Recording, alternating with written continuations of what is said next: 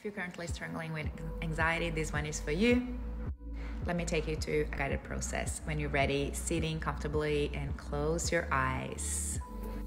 Now, tapping into your body, taking a couple of, couple of breaths and tapping into where is this anxiety sitting in your body.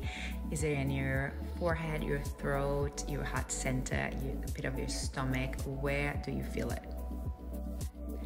Acknowledge the anxiety is there and just start speaking to it as if it was a, its own identity.